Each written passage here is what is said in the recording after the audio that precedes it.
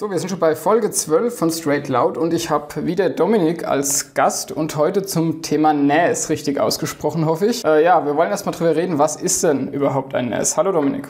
Hallo Frederik. Ja, ich bin auf deinen YouTube-Kanal ja gestoßen. Du machst ja ziemlich viele Videos zu Synology NAS. Vielleicht kannst du uns erstmal aufklären, was ist denn Synology und ja, was stellen die denn Interessantes her? Ja, also Synology ist einer der größten oder wenn nicht sogar der größte NAS-Hersteller weltweit, würde ich mal sagen. Und ja, die stellen NAS-Geräte her, wie, so, wie der Name so sagt, sind jetzt auch auf dem Gebiet von Routern aktiv, schon ein paar Jahre und versuchen da in Anführungsstrichen Fuß zu fassen. Und das ist das, was man zu Synology sagen kann. Das Wichtigste aber dabei ist das Betriebssystem. Das Betriebssystem, das auf den NAS des Herstellers läuft. Denn das ist das Entscheidende, warum die Menschen oder beziehungsweise warum Menschen sich für oder gegen ein Synology-Netz entscheiden. Denn das ist so einfach und trotzdem so, ja, wie soll ich sagen, weitreichend von der Funktion gedacht wie nur möglich. Jetzt hast du schon das äh, Stichwort Betriebssystem gesagt. Das heißt, wir reden bei einem NAS von einem Computer? Ich würde sogar sagen, von einem Minicomputer, von einem Server, der Dienste bereitstellt. Ich würde es mal so sagen, NAS heißt ja eigentlich im ursprünglichen Network Attached Storage. Das heißt, du hast im Netzwerk eine, einen Speicher, der mehreren oder allen zur Verfügung steht. Das war der Urgedanke von einem NAS. Heute, und das formuliert Synology gerade im Jahr 2018 beispielsweise um, heißt das Ganze Network Application Server. So ist es umformuliert. Das heißt, auf diesen ursprünglichen Speicher, Server, läuft jetzt nicht nur der, der Dienst des zur Verfügung stellen des Speichers, sondern ganz, ganz viele weitere Applikationen. Um die Frage zu beantworten, kurz, ja, es ist ein Computer. Ich hatte jetzt hier als Fragen natürlich noch aufgeschrieben, Unterschied zu einem Server, aber wie du jetzt ja gerade gesagt hast, ist es ja im Grunde ein Server, der im Heimnetzwerk steht, richtig? Ja, und im Firmennetzwerk, denn diese NAS gibt es nicht nur als Tischgeräte, sondern tatsächlich auch als sehr leistungsfähige, große Geräte, die du in einen ja, Serverschrank einbauen kannst. Das gibt es dann in verschiedenen Höheneinheiten und auch in verschiedenen Leistungsstufen. Das kann durchaus sein, dass du in einem solchen, in einer solchen Rackstation, wie es bei Synology heißt, dann ein oder zwei Xeon-Prozessoren vorfindest, die entsprechend Leistung bieten. Ähnlich wie ein Server. Bleiben wir mal bei den, bei den Heimgeräten. Für wen ist denn so ein Gerät interessant? Hm, für wen ist so ein Gerät interessant? Ich sag mal so, wenn jemand alleine zu Hause ist und nur mit dem Computer arbeitet und damit zufrieden ist, ist das schön und gut. Sobald aber Dinge ins Spiel kommen wie wir möchten gemeinsam oder ich möchte meine Daten nicht auf meinem Computer, sondern auf einem Gerät ablegen, und mir tut die USB-Platte jetzt nicht ganz so gut. Mir gefällt das irgendwo nicht wegen Datensicherung, wegen proprietärem äh, Dateisystem wie NTFS beispielsweise. Was ist denn, wenn ich mal zum Mac wechsle oder äh, was ist denn, wenn ich mal Linux einsetze? Für so jemanden könnte es interessant sein zu sagen, okay, ich schaffe mir ein kleines NAS an, da lege ich meine Daten drauf oder ich möchte Dienste in meinem Netzwerk zur Verfügung stellen. Das kann anfangen beim Streamen von Filmen, zum eigenen Fernseher oder zu iOS oder Android-Geräten, also einem Tablet beispielsweise. Oder ich gehe noch weiter und sage, hey, ich möchte eine Kameraüberwachung haben. Das können heutige NAS-Systeme sehr, sehr gut. Und etabliere damit zusätzlich zu dem Netzwerkspeicher, zu dem Streamen noch die Kameraüberwachung. Und für so jemanden wäre das beispielsweise im Privathaushalt auch geeignet. Ich kenne ganz viele, die ein oder zwei Kameras in ihrer Wohnung, in ihrem Haus haben und dafür das NAS gebrauchen. Das heißt, da werden dann die Aufnahmen verwaltet, die die Kamera macht. Genau, da werden die, wird einerseits unter Umständen die Bewegungserkennung, also der Alarm äh, generiert, dass du mobil auch darauf zugreifen kannst von unterwegs und benachrichtigt wirst, hey, da gab es jetzt eine Bewegung. Und die Aufnahmen werden darauf gespeichert und sämtliche andere Dinge, die man mit so einer Überwachungsstation machen kann, natürlich auch. Bleib, bleiben wir mal mit bei den ganz einfachen NAS. Also wenn ich jetzt als Nicht-Techniker mir überlege, ich habe jetzt verschiedene Geräte im Netzwerk, die vielleicht was mit diesen Diensten, wie du schon angesprochen hast, anfangen können. Sagen wir, also das meiste wird ja trotzdem immer noch sein, dass man Speicher zur Verfügung stellt. Also ich habe Jetzt bei mir als Anwendungszweck zum Beispiel, dass ich meine Bilder vom Urlaub darauf einfach speichere und gleichzeitig die auf dem Handy anschauen kann und auch auf dem ähm, ja, Fernseher abspielen kann. Genau, das so ein klassischer Anwendungsfall, den fast ja eigentlich jeder mittlerweile hat, so Digitalbilder vom Urlaub. Äh, wenn ich da jetzt die, einsteigen möchte, als kleiner Haushalt mit ja, moderaten Datenbeständen, was muss ich denn da zahlen? Hängt immer davon ab, wie weit man gehen möchte. Meine Erfahrung ist, wenn man klein anfängt und dann erstmal, auf Deutsch gesagt, Blut geleckt hat, dann geht man weiter. Das heißt, man wird dann irgendwann höchstwahrscheinlich feststellen, oh, die 150 Euro, die ich für das kleine Gerät jetzt ausgegeben habe, die hätte ich mal besser in weitere 50 oder vielleicht sogar 150 oder 200 Euro investieren sollen, denn das, was das Gerät kann, hätte ich nie gedacht, dass ich das alles jemals nutze. Das ist so meine Erfahrung. Denn du sagst es ja, du fängst mit den Urlaubsbildern an. Das können die Geräte für 150 Euro mit Sicherheit ganz gut. Aber dann stellt man fest, oh, jetzt gehen auch noch Videos und jetzt ruckelt's. Verstehst, was ich meine? Investiert man 100 Euro mehr, bist du bei 250 Euro, bist du ganz gut aufgestellt. Und mit, ich sag mal, um die 300 Euro hast du schon ein Gerät, wo ein Intel-Prozessor drin ist, wo du vielleicht bis 8 oder 16 Gigabyte Arbeitsspeicher gehen kannst und definitiv alles, was das Betriebssystem und die zusätzlichen Apps eines solchen NES hergeben, auch nutzen kannst. Ja, du hast gesagt 150 Euro. Ich habe mir jetzt mal, wir haben jetzt von Synology geredet, aber ich rede jetzt mal von QNAP. Die haben zum Beispiel ein NES mit zwei Schächten für 180 Euro im Angebot mit einem ARM2-Kernprozessor und 1,7 Gigahertz. Mal das einfach als Beispiel. Dazu kommen natürlich noch die Kosten für die zwei Festplatten, die man reinschiebt. Da gibt es ja dann auch wieder Kompatibilitätslisten von den Herstellern, sowohl von QNAP als auch Synology. Also wenn man es dann summa summarum rechnet, muss man wahrscheinlich selbst für eine günstige Erstanschaffung schon mal mit 350 Euro rechnen oder sage ich da was Falsches? Ja, das hängt jetzt von der Festplattengröße ab. Bei den Festplatten muss man natürlich eins sagen, wenn du diese Festplatten einmalig angeschafft hast, dann ist das ja auch etwas für dein nächstes NAS. Ich möchte kurz ein Beispiel dazu sagen. Die Festplatten, die ich im Jahr 2012 angeschafft habe und ordentlich behandelt habe, wohlgemerkt, also nicht ständig an, aus, nicht ständig aus dem Ruhezustand aufwecken, die funktionieren heute nach sechs Jahren immer noch. Mein Problem war, ich war zu geizig und habe damals nicht die 4 Terabyte, sondern die 3 Terabyte genommen und der Speicher wurde knapp. Und deshalb würde ich bei Festplatten eher sagen, das ist die Erstanschaffung, die ich aber unter Umständen nach einem Upgrade noch weiter nutzen kann. Gut, also halten sich die, Gren die, die Kosten doch in Grenzen, wenn man damit mit den, mit den Festplatten richtig kalkuliert und mit dem Gerät. Ja, aber kann sich denn jeder so ein Nest zu Hause hinstellen? Also muss man da irgendwie IT-Nerd sein, um die bedienen zu können? Oder wie sieht's denn da aus? Nehmen wir mal das Beispiel Synology. Ich kann vielleicht später noch was zu QNAP sagen. Also ich persönlich halte es für definitiv möglich. Einerseits bieten alle Hersteller, also die großen, ich sage mal jetzt Synology und QNAP, sehr gute Hilfe im Internet an. Und zum Zweiten, auf YouTube findest du garantiert Tutorials, wie du etwas einrichtest. Und für jemanden, der Technik nicht so gut beherrscht, gibt es die Assistenten für die Einrichtung und auch wirst du an die Hand genommen, wenn du das Gerät ein, äh, einrichten möchtest. Denn es geht prinzipiell darum, du kriegst das Gerät, packst es aus, steckst die Festplatten rein. Das ist wirklich easy, da muss man nicht irgendwie Techniker sein dazu. Netzwerkkabel ran, Strom ran und einschalten. Der Rest geschieht am Computer über Assistenzsoftware oder über den Browser, über den handelsüblichen Browser, egal welcher das ist, und über eine Adresse wie zum Beispiel find.synology.com dann wird deine Diskstation gefunden und du wirst in vier Schritten oder drei Schritten, ich weiß gar nicht, wie viel es sind, an die Hand genommen und das Ding läuft. Und das gleiche übrigens auch bei QNAP. Das würde ich auch nochmal unterstreichen. Also das sind ja im Moment immer noch so die Nerdgeräte scheinbar, die, die Nesses, aber ich habe die gleiche Erfahrung gemacht. Also QNAP kann man anschließen und dann gibt es sogar schon Freigaben standardmäßig. Also man müsste im schlimmsten Fall nicht mal mehr auf die Oberfläche.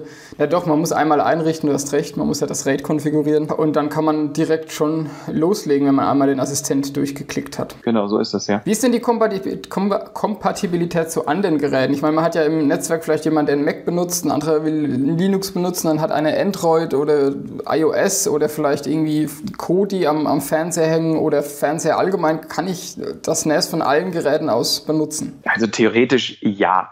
Die Computer, da sehe ich überhaupt gar kein Problem, ob das jetzt Windows, Mac oder Linux ist, die greifen, können alle über das SMB-Protokoll beispielsweise wunderbar darauf zugreifen.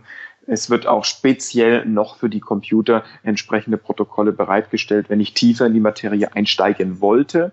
Für die iOS- und Android-Geräte stehen die offenen Standards zum Streamen zur Verfügung. Andererseits aber auch bieten die Hersteller grundsätzlich die Apps auch an, um vielleicht Komfortfunktionen nutzen zu können. Ich nenne ein Beispiel. Ich gucke abends noch ein Video vom, vom letzten Urlaub, das geht eine Stunde, schaff's aber nicht, weil ich müde werde, drücke auf Pause und möchte es am nächsten Tag wieder fortsetzen. Dann kann ich sowas mit den Apps von den Herstellern ganz einfach machen. Gleiches gilt für den Fernseher, wo du erwähnt hast. Rudimentär kann der Fernseher das streamen, ich sag mal über DLNA, das Protokoll, wenn er es kann, funktioniert. Oder wie mein Fernseher beispielsweise von Samsung, so ein Smart TV, da kann ich heute schon Apps installieren und da liefert beispielsweise Synology die von mir benannte DS Video App ebenfalls mit, wo ich dann fortsetzen kann oder Komfortfunktionen nutzen kann. Das hört sich ja erstmal ganz spannend an. Das sind jetzt aber im Grunde die ganzen Funktionen, die du jetzt beschrieben hast, basieren darauf, dass ich Sachen auf dem NAS speichern kann, sei es Filme oder Bilder, die ich dann eben auf meinen Endgeräten abspielen kann. Aber es gibt ja noch mehr, was so ein NAS kann. Du hast ja vorhin schon erzählt, man kann Kameraüberwachung machen. Was sind denn noch für, für Leute, die das jetzt nur privat nutzen möchten, was sind denn da interessante Funktionen, was so ein NAS bereitstellt? Also ich sag mal so, ich habe komplett mich losgesagt von Cloud-Diensten. Ich habe gesagt, ich möchte meine Kontakte, meine, meinen Kalender ich möchte meine E-Mails nicht bei Google, Apple oder sonst wem haben, nicht mal bei meinem Anbieter hier in Deutschland, Strato beispielsweise, sondern ich möchte das alles bei mir haben. Das bietet dir heute ein NAS auch, wenn du sagst, okay, ich möchte jetzt Kontakte mit meiner Frau, mit meinen Freunden, wie auch immer, äh, zusammen nutzen, mit meiner Familie, dann kann ich das mit einem NAS ganz einfach realisieren. Das gleiche gilt für Kalender. Da stehen auch offene Protokolle wieder zur Verfügung. Das CallDAV und CardDAV-Protokoll, was die meisten äh, Programme können, Outlook beispielsweise nicht, um das mal kurz rauszunehmen. Und wie du es auch sagtest, Fotos, all das befindet sich auf dem NAS und du bist komplett unabhängig, weil du es selber in Anführungsstrichen hosten kannst, auch über eine kleinere Internetleitung. Das heißt, man kann dann von außen, also man muss nicht nur im Heimnetzwerk sein, sondern kann auch aus dem Internet auf diese Funktionen zugreifen. Genau, und wichtig dazu zu sagen ist, es ist verschlüsselt, das Ganze. Das war vor ein paar Jahren noch anders. Da waren die Hersteller noch etwas laxer im Umgang äh, mit dem Ganzen. Heute, wenn du dem Assistenten tatsächlich folgst und den Hinweisen, dann ist der Zugriff von deinem Endgerät auf dein NAS von fern über das Internet schon äh, verschlüsselt.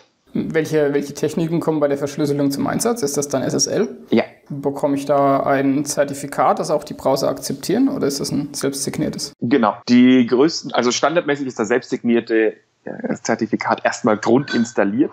Allerdings, und das muss ich dazu sagen, haben sämtliche Anbieter, die großen, da den Let's Encrypt Dienst integriert. Das heißt, du kannst auch hier via Assistent, äh, das ist bei Synology vier Schritte, einfach ein Zertifikat von Let's Encrypt für deine DNS oder Adresse oder sogar deinen Hostnamen, wenn du jetzt hier bei äh, eine feste IP hast oder wenn du bei Strato bist oder einem anderen Anbieter, der dünn DNS für deine Subdomain-Domain bietet, dir abrufen und dann ist das Ganze auch ein gültiges Zertifikat, ohne dass du die Warnung bekommst. Ja, das hört sich ja gut an. Jetzt kommen wir aber mal zum Thema Backup. Dafür werden es ja wahrscheinlich viele am Ende nutzen, richtig?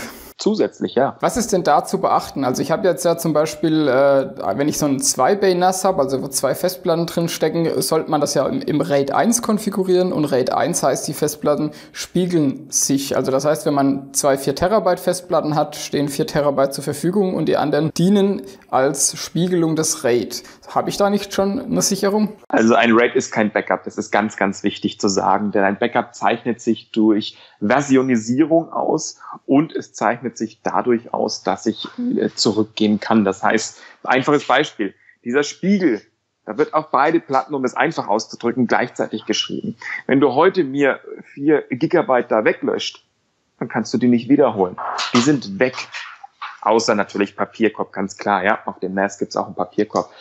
Oder ich ändere dir eine Word-Datei, äh, die, was weiß ich was, zehn Seiten hat, mit nur einem Buchstaben, speichere die und du sagst, oh nee, jetzt ist alles weg, gib mir da mal wieder meine alte Datei, dann kommst du da nicht zurück. Bei einem Backup kannst du sagen, ja, wir haben jetzt die Datei von diesem Datum mit der Uhrzeit von dem zu dem zu dem. Ich kann vielleicht sogar Monate zurückgehen und dir das wieder herstellen. Oder anderes Beispiel, das NAS fällt dir runter, brennt ab, wird geklaut, dann bringt dir der Spiegel auch nichts. Das heißt, man müsste noch eine zusätzliche versionierte Sicherung machen. Wie, wie macht man das am besten an einem NAS? Am, be am besten, das ist gut, am besten würde ich sagen, an einen zweiten Standort auf ein zweites NAS äh, mehrmals am Tag eine Sicherung machen. So mache ich beispielsweise. Und zusätzlich noch für, den, für das schnelle Recover, wenn du so richtig nerdig bist, dann hast du hier noch eine USB, ein USB-Volume, sage ich jetzt bewusst mal, nicht eine USB-Festplatte,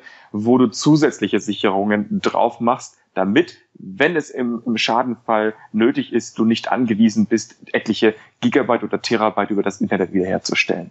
Ja, das ist ja auch einfach möglich. Äh, die Geräte haben ja mehrere USB-Ports, also da könnte man zumindest für die wichtigen Dateien wird ja vielleicht auch sogar ein USB-Stick oder halt eine größere USB-Platte ausreichen, um da eine versionierte Sicherung drauf zu machen. Ja. Was man ja auch nicht vergessen darf, es geht ja nicht nur um Datenverlust, sondern es kursieren ja auch diese Kryptotrojaner aktuell, ja. die das Backup oder nicht, nicht nur das Backup, die versuchen ja alle Dateien, an die die kommen, zu verschlüsseln. Das kann ja dann auch am Ende das NES betreffen, wenn die Laufwerke eingehängt sind im Betriebssystem, würden würden die ja auch anfangen, das zu verschlüsseln. Auch da ist ja so eine versionierte Sicherung wieder wichtig, dass ich zurück kann. Und noch wichtiger ist, dass an diese versionierte Sicherung dieser Krypto-Trojaner gar nicht rankommt. Und das war auch so meine Lösung mit der USB-Festplatte am NAS, weil ich habe ja im, im NAS eine Benutzerverwaltung, also es kann ja nicht jeder Nutzer alles oder auf alle Dateien zugreifen. Und so kann ich dann reglementieren, dass ich zum Beispiel vom PC aus gar nicht auf die USB-Festplatte draufkomme. Das heißt, der Krypto-Trojaner da auch gar nicht wüten kann und ich immer noch diese Sicherung hätte, um die wiederherzustellen. Genau, denn die Sicherung läuft ja in dem Falle dann von den NAS, wie du sagtest, auf die USB-Festplatte ab, wo der Kryptotrojaner überhaupt nicht agieren kann und du als User hast auf die Backup-Festplatte, die am NAS hängt, keinen Zugriff, sondern lediglich ein dedizierter Benutzer und auch nur das Backup-Programm und nichts anderes, was auf dem NAS läuft. Jetzt müssen wir doch nochmal über Synology und QNAP reden. Also, also ich habe mir vor einem Jahr oder eineinhalb Jahre ist es bald her das NAS gekauft, hatte mich ein bisschen informiert. Und es ist ja tatsächlich so, es gibt mehrere Hersteller von diesen Geräten und nicht, dass jetzt einer hier die Folge hört und losläuft und kauft sich irgendwas Billiges. Die gibt es ja auch, die deutlich günstigeren Systeme als von QNAP oder Synology.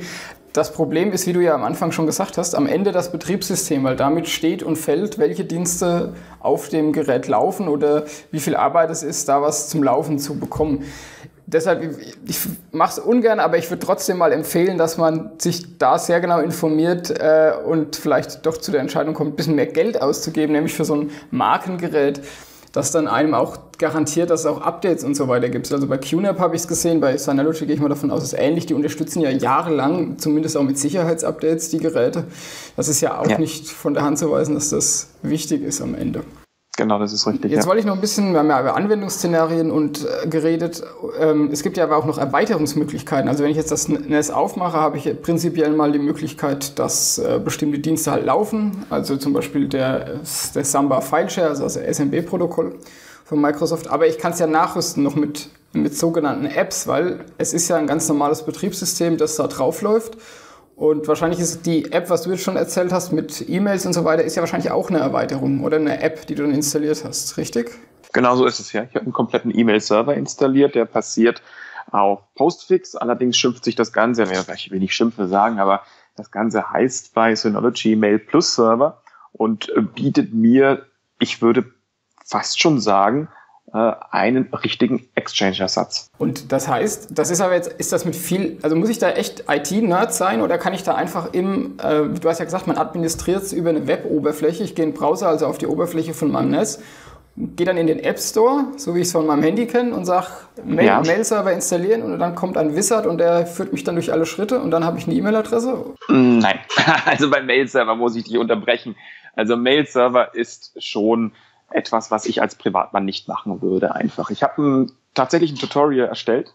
Das dauert eine Stunde äh, etwa und ich habe versucht, alles abzufangen, was man auch bedenken muss und habe auch eindringlich gewarnt, dass das jeder so nachmacht und wenn, dann tatsächlich alle Regeln eines E-Mail-Servers äh, bedenkt. Denn so einfach ist es nicht, äh, gerade so einen E-Mail-Server aufzusetzen. Und das, das geht dann auch eher in die Richtung, hey, Das NAS bietet dir als Privatmann die ganzen Dienste mit dem Foto, mit dem Kalender. All das kann ich als Privatmann locker machen. Aber zusätzlich habe ich auch noch die Möglichkeit, die, diese Dienste zu nutzen, die dann doch vielleicht weitere Kenntnisse erfordern. Ich meine jetzt Mail-Server ist eins, virtuelle Maschinen. Ich kann auf dem NAS auch virtuelle Maschinen laufen lassen und nicht nur eine, sondern mehrere. Ich kann einen Radioserver installieren. Ich kann einen, einen VPN, VPN-Server installieren und, und, und. Das sind dann die Dinge, wo ich als Privatmann vielleicht eher nicht rangehen würde, wenn ich mich damit nicht auskenne. Wobei VPN zum Beispiel, also ich kann es ja immer nur jetzt von der QNAP-Seite erzählen, ähm, das fand ich ziemlich einfach. Da gibt es einfach eine, eine VPN-App, da drückt man dann bei OpenVPN auf Einschalten und kriegt, definiert noch ein Passwort und kriegt die Konfigurationsdateien für die Endgeräte als ZIP zum Runterladen und kann eigentlich dann schon loslegen. Man muss natürlich die dünn DNS haben, noch eine Portweiterleitung machen, aber auf, ab dann funktioniert es eigentlich schon. Ja. so einfach ist es auch bei Synology. Aber glaube mir, im Support äh, da hatte ich jetzt dann doch schon häufiger, ich bin einfach dran gescheitert, ich konnte dies nicht, ich konnte jenes nicht. Gerade äh, 1194 UDP für den OpenVPN-Server, dann stand da TCP drin, äh, dass das nicht funktioniert. Okay, die ZIP-Datei, die man runterlädt, wie kriege ich die denn auf dem iOS-Gerät? Dann, dann musste man iTunes öffnen und, und das dann in die Dateifreigabe des der OpenVPN-App reinspielen da sind viele dran gescheitert. Also doch nicht ganz so einfach. Aber ich finde, also ich gerade für OpenVPN, ich habe jetzt das NAS, als was mache ich da drauf eigentlich? Eigentlich nur Sicherung, ganz verrückt.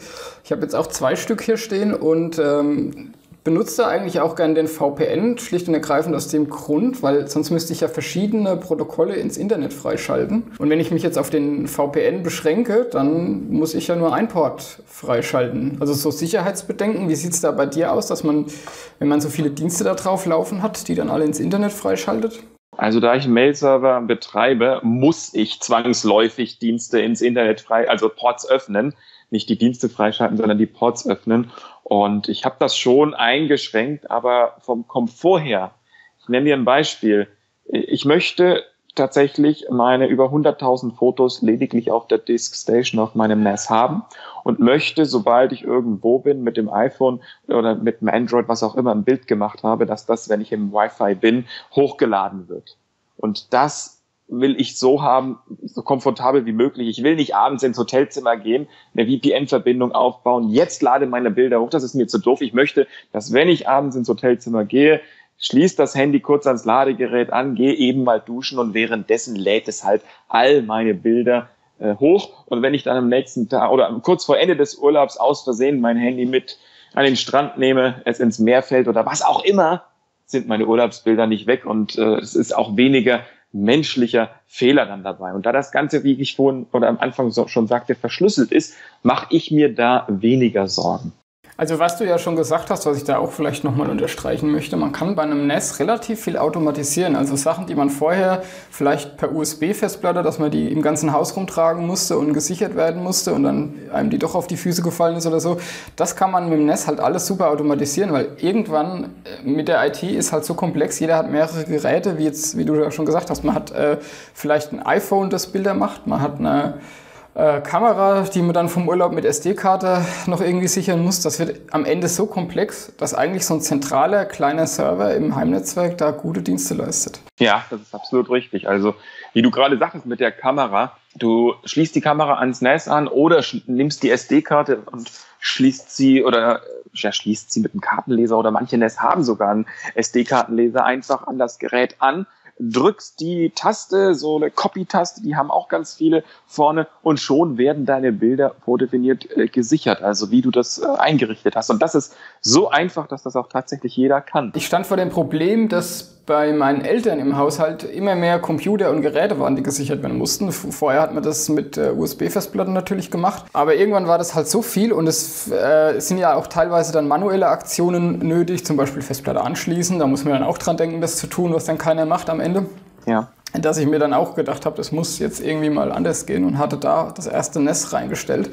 Und seitdem hatte ich da auch nie wieder Scherereien. Und das sind jetzt, da sichert meine Oma drauf, ohne dass er davon weiß. Da sichert meine Mutter drauf und da sichert mein Vater drauf. Das sind also drei Geräte, die da angeschlossen sind. Und hängt eine USB-Festplatte dran, wo dann halt einmal am Tag oder einmal in der Woche, ich weiß nicht, auf was ich es eingestellt hatte, äh, ja, automatisch ein Backup gezogen wird. Das heißt, man muss wirklich gar nichts mehr machen und das läuft einfach. Und wenn es ein Problem gibt, kann man sich ja von den Geräten per Mail oder per Warnton äh, alarmieren lassen, dass zum Beispiel eine Festplatte ausgefallen ist. Kann dann direkt eine neue reinschieben, wenn die im RAID ist, dauert es halt irgendwie 20 Stunden und dann ist die wieder gespiegelt und alles läuft wie vorher.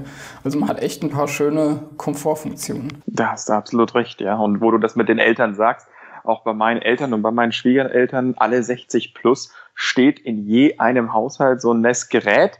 Und beide nutzen es übrigens für die Kameraüberwachung und beide nutzen es auch, so wie ich gesagt habe, für die eigene Fotosammlung, für den Zugriff und das Backup, genau wie du gesagt hast. Und es läuft seit Jahren, ich höre nichts. Und äh, wenn dann, wie, wie, du sagtest, schickt das Gerät eine E-Mail oder gibt einen Warnton von sich. Ja, und man kann sich ja verbinden mit VPN, sonst wie kann seine Updates machen und ja, kann das schön administrieren dann auch von außen. Erzähl doch ein bisschen was zu dieser Kameraüberwachung. Was hat man denn für Anforderungen an eine Kameraüberwachung und welche davon werden von so einem Netz abgedeckt?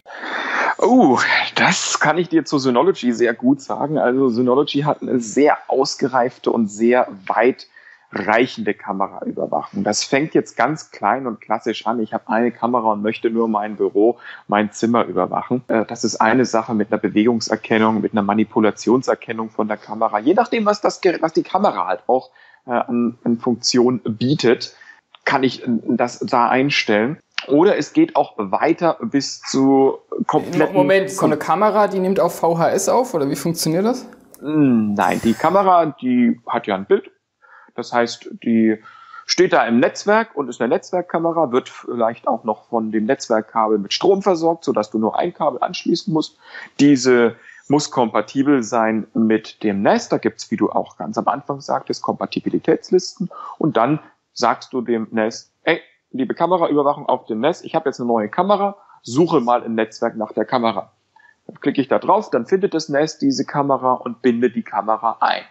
Und je nach technischer Möglichkeit der Kamera kann ich jetzt genau das machen, was ich gerade sagte, Bewegungserkennung, Manipulationserkennung und so weiter. Und dann tut das NAS sein Übriges. Das heißt, wenn die Kamera oder das NAS eine Bewegung erkennt, einen, einen Ton erkennt, eine Manipulation erkennt, in einem von mir definierten Bereich oder im gesamten Bild, dann soll dies und jenes passieren. Dies und jenes heißt, auf das NAS aufzeichnen, den Benutzer per Push äh, oder E-Mail oder und E-Mail benachrichtigen oder und zusätzlich noch weitere Aktoren auslösen, wie zum Beispiel eine Alarmsirene oder sonstiges. Man ist ja, wenn ich das richtig äh, sehe, eigentlich gar nicht teuer dabei, weil solche Überwachungstechniken, die haben ja eigentlich immer viel Geld gekostet. Wenn ich mir jetzt aber angucke, dass man da einfach das mit dem NES und ich meine, diese Netzwerkkameras kosten ja auch nicht mehr die Welt, kann man ja schon relativ gut überwachen, ohne viel Geld auszugeben, richtig? Genau, und es ist eine zusätzliche Sache, die du bekommst für deine, ich sag mal, 350 Euro äh, mit dem, von dem NES und nicht nur das, was wir gerade alles besprochen haben, sondern die zusätzliche Sache, hey, ich habe jetzt auch gleich noch eine Kameraüberwachung damit. Stimmt, ja. Die können ja, also ist ja, genau, ist ja eigentlich nur eine Zusatzfunktion, ist ja, man braucht ja da keine extra Hardware, ist ja alles schon da in dem Netz eigentlich. Hat Netzwerkfunktion, hat Speicher. Genau, und ich kann auch weitere Aktoren übrigens anbinden, also Türsensoren, Bewegungssensoren und was es da alles gibt, das kann ich in diversen Szenarien miteinander verbinden, auch äh, zum Beispiel Synology hat das gerade gemacht für Verkaufsräume, so dass ich analysieren kann, ob ein Verkauf stattgefunden hat äh, mit, mit der Kasse zusammen. Aber bitte frag mich da jetzt nicht tiefgehend, wie das geht. Ich habe es noch nicht eingerichtet. Äh, wer sich da informieren soll, möchte, sollte mal auf die Webseite des Herstellers schauen. Wir hatten im Vorgespräch darüber geredet, dass du Aufträge, also du verdienst ja dein Geld mit IT und berichtest ja Synology-Geräte ein.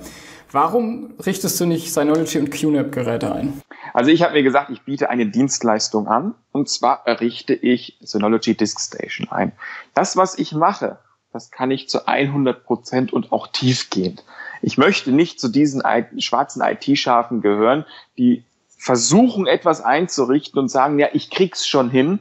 Und im Endeffekt ist der Leistungsempfänger, also im Endeffekt der Kunde, damit dann nicht zufrieden. Ich möchte, dass, wenn der Support stattgefunden hat, derjenige sagt, hey, das hatte Hand und Fuß und es ist genau so gelaufen, wie ich wollte. Und zwar in einer sehr kurzen Zeit mit dem Maximum, was ich da bekommen kann. Und damit bin ich in den letzten Jahren sehr, sehr gut gefahren. Also es war stets jeder zufrieden und der, der nicht zufrieden war, der hat auch nichts bezahlt. Und das war, ich glaube, ein, zwei Mal der Fall.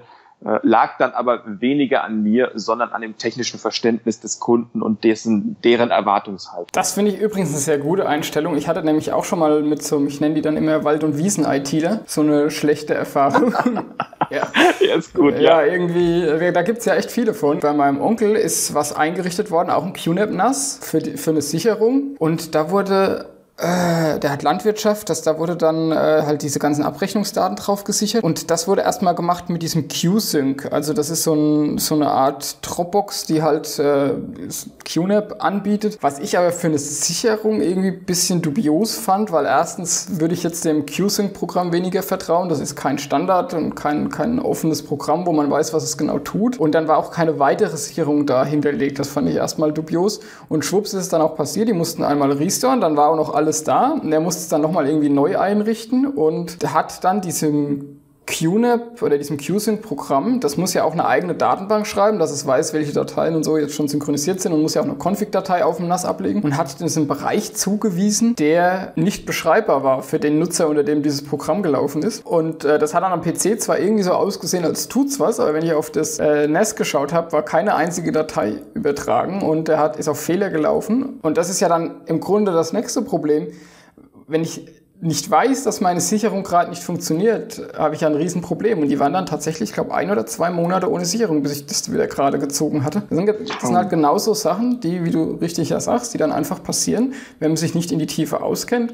Und ich vielleicht denke ich nur so, du kannst ja auch was dazu sagen, aber man sollte schon, gerade wenn es um so sensible Daten geht, schon auf Standards oder auf so, auf so gut abgehangene Standardprogramme oder halt auf ja, Standardprotokolle setzen, um eine Sicherung zu machen. Also wie FDP, wie Samba. Also man kann ja einfach, was weiß ich, einmal am Tag ein, äh, so ein Robo-Copy auf Windows laufen lassen, der dann halt auf die äh, Samba-Laufwerke einfach die Dateien kopiert und im Hintergrund kann das NAS ja die nochmal dann auf eine Festplatte versioniert speichern. Das fände ich allemal irgendwie hilfreicher als irgendwelche komischen Apps, die da QNAP oder sonst wer bereitstellt. Ja, prinzipiell hast du da recht und äh, viele folgen mit Sicherheit auch deiner Aussage. Äh, ich sehe das prinzipiell auch so, ähm, verlasse mich aber auch auf die proprietären Apps. Jetzt äh, bei QNAP kann ich da zu dem äh, Backup nicht so viel sagen. Sicherlich habe ich das schon eingerichtet, sicherlich habe ich es getestet, aber. Ja, das ist ja kein Backup. Das ist ja, also das, die Backup Station von QNAP ist super. Die arbeitet ja auch mit Standards, die macht Versionierungen und alles gut. Das ist ja am Ende auch proprietäre Software. Aber dieses, dieses Sync-Software, also die wie Dropbox funktioniert, also die immer guckt, hat sich jetzt die Datei geändert, dann synchronisiere ich die mal und so, das ist ja kein richtiges richtiges, also für mein Verständnis zumindest kein richtiges Backup, weil da diese ganze Geschichte mit Versionierung Nein. ja viel problematischer ist. Ja, aber das lag ja jetzt an deinem Wald- und wiesen ja, natürlich. der das falsch eingerichtet ja, gut, hat. Das würde ich ja. dafür niemals nutzen. Ja, richtig, genau, darauf wollte ich ja raus. Also das sollte man ja. Ach so, okay, gut. das ist aber auch so, dass man da schon äh, Software benutzen soll, wo man so einigermaßen weiß, was die im Hintergrund tut. Also ja, die Backup-Software. Ja, und vor allem es testen. Das ist ja das, das ist der, der, der, der große Punkt. Hat er es denn getestet? Nein, er hat es nicht getestet. Ergo, er es vorher noch wahrscheinlich noch nie gemacht, sonst hätte es ja funktioniert. Insofern, wenn ich dann da auch nur einen Cent Geld ausgebe, um meine Güte, dann sollte man sich vielleicht an jemanden wenden, der das auch tatsächlich kann und sagt, okay, ich mache nur das und nichts weiter und bin eben nicht derjenige, der ein Allround-Angebot hier zur Verfügung stellt. Das ist richtig und äh, testen ist ja im Grunde ganz einfach. Mal eine Textdatei anlegen und gucken, ob die drüben auch ankommt, wo ich sie denn gesichert haben will. Ist ja auch kein Hexenwerk. Und bitte ein Recover. Ich möchte da ganz kurz was dazu sagen. Ich hatte tatsächlich eins gesagt, diese Backup-Strategie, die ich vorhin erwähnt habe, die ich fahre, die wollte ich in einem Video einmal demonstrieren, dass das, was ich tue, funktioniert. Ich bin hergegangen und habe meine 30 Terabyte Disk Station, die Mail-Server, VPN-Server, Radius-Server, äh, mit, mit den ganzen Daten übrigens, die ich gerade nannte, hostet, die viele weitere Apps, meine komplette Cloud, meine ganzen 100.000 Fotos, alles drauf hat, bin ich hergegangen, habe gesagt, Volume löschen. Ich habe komplett alle Daten, alles gelöscht, habe das RAID neu aufgebaut und habe dann ein Disaster Recovery mit der USB-Festplatte gemacht. Ich war da mehrere Tage drüber, bin morgens auch immer hin mit verschlafener Stimme dann vor dem Computer, Mikrofon an und gesagt, so, jetzt sichert der Mail Plus Server oder der recovert der Mail Plus Server leider immer noch und habe tatsächlich geguckt, kann ich denn in einem GAU-Fall, im schlimmsten Falle, egal ob Diebstahl, Brand, Überschwemmung oder was auch immer, ich habe ein neues NAS und möchte meine Daten wieder haben. Kann ich denn tatsächlich alles wiederholen? Und ich rede nicht nur von Daten, sondern mir geht's primär darum, auch wie bei Apple es so schön einfach ist mit Time Machine, meine Apps und meine kompletten Einstellungen, meine Zertifikate, die ich damals installiert hatte, die ganze Konfiguration wiederherstellen. Und die ja Stunden gedauert hat wahrscheinlich. Richtig. Tage, Stunden und viel Erfahrung. Und je mehr du darauf nutzt, umso länger dauert das auch. Und ja, es hat bei mir geklappt und ich habe es bewusst im Video gemacht, den Disaster Recovery Fall, damit Menschen auch mal sehen, klappt es oder klappt es nicht. Wenn wir jetzt schon beim Thema Backups sind, äh, was spielt denn da bei dir Verschlüsselung, spielt bei dir Verschlüsselung da eine Rolle bei Backups? Auf jeden Fall. Was ist denn, wenn bei meinen Eltern eingebrochen wird und dort meine Backup-Festplatte geklaut wird? Dort steht sie nämlich 400 Kilometer weiter und äh, darauf sichere ich auch dieses NAS von meinen Eltern, wenn es da geklaut wird und derjenige an meine Daten, an meine Geschäftsdaten kommt, das wäre fatal. Alle Backups bei mir sind grundsätzlich verschlüsselt. Das heißt nicht nur die Backups wahrscheinlich, sondern auch das NAS an sich, oder? Das NAS an sich und die Übertragung auch. Das heißt, Hardware-Verschlüsselung gibt es wahrscheinlich auch bei Synology, gehe ich jetzt mal stark davon aus. Die ja. haben das schon integriert, also auch das ist kein Hexenwerk. Das habe ich nämlich dann schon beim, beim Einrichten gemerkt. Da wird man direkt gefragt, ob man verschlüsseln möchte und das sollte man auf jeden Fall tun und auch nicht, das finde ich bei QNAP ganz bescheuert, die bieten einem an, den Verschlüsselungsschlüssel zu speichern im NAS. Also das habe ich noch nicht verstanden, den Hintergrund. Klar, wenn man dann nur die Festplatten klaut, dann äh, ja, gut, könnte man nichts mehr damit anfangen. Aber wenn man die ganze Kiste dann klaut, was ja wahrscheinlich der wahrscheinlichere Fall ist, dann hat man den Schlüssel im Speicher liegen oder wo auch immer. Ja, das ist richtig. Das gibt es bei Synology auch. Da kannst du das auf einen USB-Stick oder in Zukunft wird das auch anders gehen äh, auf dem Netz. Aber solange die Lösung nicht da ist, äh, dass derjenige, der das NAS komplett klaut, nicht an meine Daten rankommt, sehe ich das genau wie du. Der darf da auf keinen Fall sein.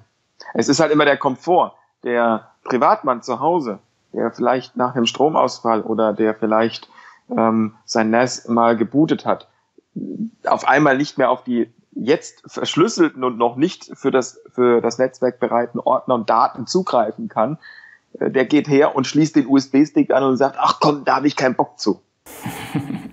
Weil dem passiert es nämlich im Urlaub. Er ist im Urlaub, hat einen Stromausfall zu Hause, Strom ist wieder da, das NAS startet neu und alle Daten sind nicht, äh, stehen nicht bereit, weil die Entschlüsselung eben nicht möglich ist. Äh, und, das ärgert ihn. Und in dem Falle aus Komfort schließt das an, bedenkt aber nicht, dass der Dieb natürlich auch alle Daten hat. Genau, dem will ich jetzt entgegensetzen. Man kann sich ja beispielsweise mit VPN dann wieder ins Netzwerk verbinden und da die Entschlüsselung dann so anstarten. Aber genau, sehe ich auch so. Also ist ja auch natürlich richtig, wie du sagst. Also Sicherheit hat immer ein bisschen Komforteinbußen, aber ich bin da echt auch der Meinung, die sollte man auch in Kauf nehmen, auf jeden Fall. Also ich habe jetzt auch mein Backup mal umgestellt. Ich habe die ganze Zeit auf einen privaten Server, der, also auf einen virtuellen privaten Server gesichert, der im Netz, also im Internet stand. Hatte das auch so mit eCryptFS verschlüsselt, aber da hat man immer den Nachteil, dass halt während das synchronisiert wird, die Daten halt im Klartext drauf liegen. Ja. Und das war mir jetzt aber auch zu heikel. Jetzt habe ich eine App installiert, die mir auch sehr gut gefällt. Da kann ich schon äh, mitgeben, dass er also per SFTP, das heißt eine verschlüsselte Übertragung zu dem Server hat und die Datei nochmal mit einem anderen Passwort verschlüsselt und auch nur verschlüsselt äh, ablegt auf dem Server. Das heißt, da kann jetzt oder sollte gar nichts mehr passieren. Ja, das hört sich doch gut an. Ja, man soll, aber es ist ja nicht, wir reden ja jetzt hier nicht von theoretischen Sachen, sondern es gab ja jetzt wieder diesen Facebook-Datenskandal, wo sich alle aufregen, dass Facebook tatsächlich die Daten braucht, die man denen da hinstellt. Oder wir hatten ja auch diese ganzen äh, Skandale, wo irgendwie von irgendwelchen Cloud-Anbietern, Google Drive oder iCloud, von irgendwelchen Nacktfotos runtergehackt wurden. ja. Also es ist ja nicht, dass wir jetzt in einem luftleeren Raum hier diese Ideen haben mit Verschlüsselung, sondern das ist ja tatsächlich ein Thema und wenn man vernünftig verschlüsselt, kann einem halt sowas nicht passieren. So ist es. Dann danke ich dir fürs Gespräch. Ich danke dir dafür, dass du mich noch einmal in, zu dir eingeladen hast, mehr oder minder zu dir über das Telefon. Hat mich sehr gefreut und hat mir Spaß gemacht. Ich danke dir auch und vielleicht ergibt sich ja nochmal eine Gelegenheit. Du beschäftigst dich ja auch mit Netzwerkgeräten, also Routern und, und Modems sehr viel. Vielleicht hören wir uns dann nochmal, wenn du Lust hast. Ich würde mich freuen. Also dann einen schönen Abend. Ciao. Den wünsche ich dir auch. Danke. Ciao.